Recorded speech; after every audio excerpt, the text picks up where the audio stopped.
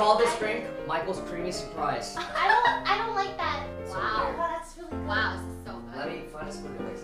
Michael's Creamy Surprise is soju, either original or fresh, but it has to be Jinro. One to one and a half Yakults. The uh, Yakult brand waters it down, no cap. A little bit of Calpico, almost to the top, and then some lychee Calpico. Not for taste, to make it pink, so that people like it and like the color of it and drink it.